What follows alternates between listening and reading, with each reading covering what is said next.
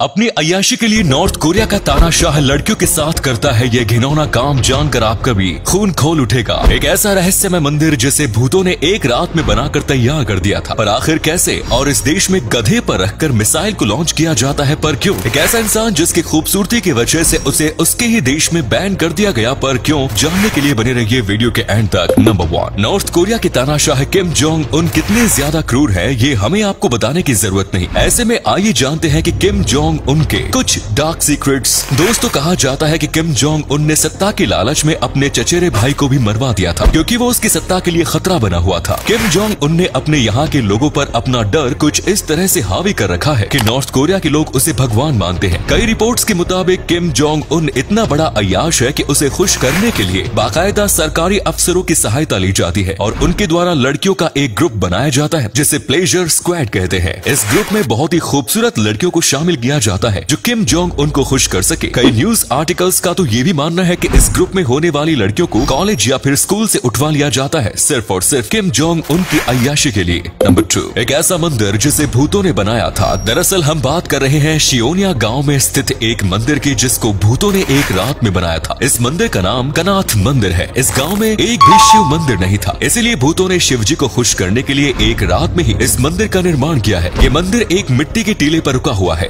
इस मंदिर की ऊंचाई 120 फीट, इस गाँव के लोगों का मानना है कि इस मंदिर का निर्माण रात में भूतों द्वारा किया गया था और इस मंदिर को भूतों ने एक ही रात में बनाया था। लेकिन अचानक से एक शख्स ने अपनी आटा पीसने वाली चक्कू को चालू कर दिया और उसकी आहट सुनकर यहाँ के भूत भाग गए। आपको बता दें कि ये मंदिर बहुत ही प्राचीन मंदिर है। हर साल यहाँ पर हज़ारों की संख्या में लोग घूमने के लिए आते हैं। नंबर थ्री अब हम आपको एक ऐसी मूर्ति के बारे में बताएँगे जिसको छूने पर आपको इंसानों जैसा आभास होगा। इस मूर्ति को छूने पर आपको ये एकदम मुलायम लगेगी। थी और कुछ लोगों का मानना है कि इस मूर्ति से खून भी टपकता है। दरअसल ये मंदिर तेलंगाना से 800 किलोमीटर दूर मल्लूर में स्थित था। इस मंदिर का नाम नरसिंह स्वामी मंदिर है। इस मूर्ति को पहाड़ से खोज कर निकाला गया था। ये मूर्ति नरसिंह स्वामी की है। इस मूर्ति को भगवान नरसिंह स्वामी का चमत्कार कहा जाता है। और यहाँ पर हज़ारों की संख्या में लोग इस रहस्यमय मंदिर की सैर करने आते हैं। ये पहाड़ के ऊपर स्थित है। इसीलिए और लोग यहाँ पर घूमने आते हैं, जिससे उन्हें पहाड़ के नीचे की ओर देखने पर काफ़ी खूबसूरत नज़ारा दिखता है। Number four. वैसे तो दुनिया में बहुत खूबसूरत इंसान है जिनकी खूबसूरती के लिए लोग उनके दीवाने रहते हैं। और कुछ लोगों को तो उनकी खूबसूरती के लिए अवार्ड भी मिलता है। पर आज हम आपको एक ऐसे शख्स के बारे में बताएँगे जिसे उसकी खूबसूरती की वजह से सऊदी अरब में जाने की इजाज़त नहीं है। इस शख्स का नाम है ओमान ब्रोकन अल गाला सऊदी अरब की गवर्नमेंट का मानना है की अगर ये सऊदी अरब में आएगा तो सऊदी अरब की लड़कियाँ इसकी तरफ़ अट्रैक्ट होने लगेगी। और सऊदी अरब के क्राउन प्रिंस की खूबसूरती इस शख्स के आगे फीकी पड़ जाती है। इसीलिए इस शख्स का सऊदी अरब में आना बैन है और ये अब सऊदी अरब नहीं जा सकता।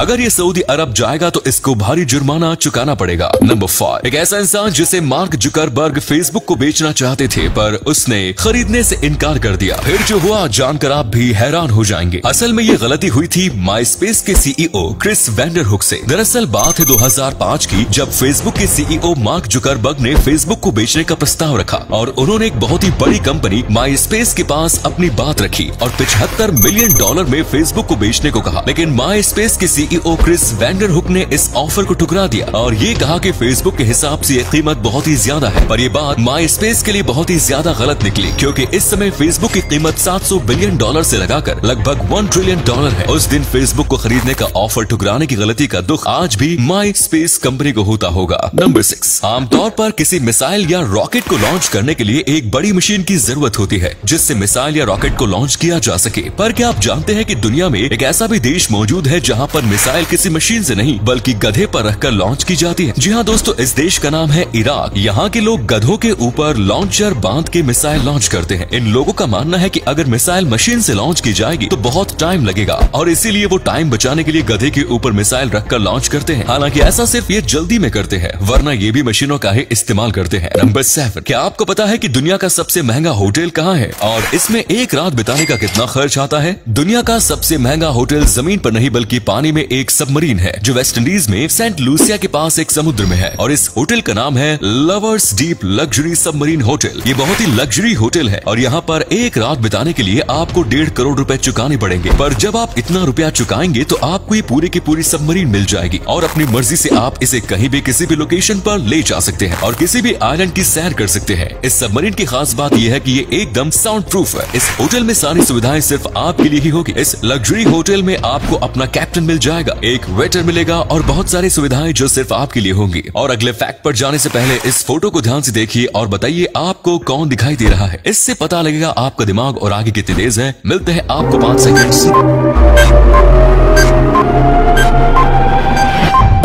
ये बात आप लोगों को मालूम होगी कि अंग्रेज़ों ने सबसे पहले अपनी फैक्ट्री सूरत में लगाई थी, पर इससे पहले की कहानी आपको नहीं मालूम होगी। दरअसल अंग्रेज़ों ने अपने एक आदमी को भारत पर निरीक्षण करने के लिए भेजा। वो चाहते थे कि पूरे भारत को अच्छी तरह से जान लिया जाए। फिर उसके बाद भारत में जाकर अपनी फैक्ट्रियाँ लगाई जाए। फिर 1835 में एक आदमी यहाँ पर निरीक्षण करने के लिए आया, जिसका नाम था लॉर्ड मैकाउले, जिसने पूरे भारत को अच्छी तरह से घूमा। फिर उसने अपने ब्रिटिश पार्लियामेंट को एक पत्र लिखा, और उसने उस पत्र में कहा की पूरे भारत में एक भी भिखारी नहीं है। और भारत में एक सूरत ऐसी सिटी है जिसकी संपत्ति यूरोप के अन्य देशों से भी ज़्यादा है। और यहाँ पर लगभग सात लाख बत्तीस हज़ार गुरुकुल है। और इनकी एजुकेशन सिस्टम को बर्बाद करना होगा, तभी हम भारत पर अपना कब्जा कर पाएँगे। फिर अंग्रेज़ों ने इंडियन एजुकेशन एक्ट को लागू किया, जिसमें सभी साधुओं को ज़िंदा जला दिया गया और बहुत सारे अत्याचार साधुओं पर किए। उसके बाद अंग्रेज़ भारत में आकर अपना साम्राज्य बसाने लगे। धन्यवाद।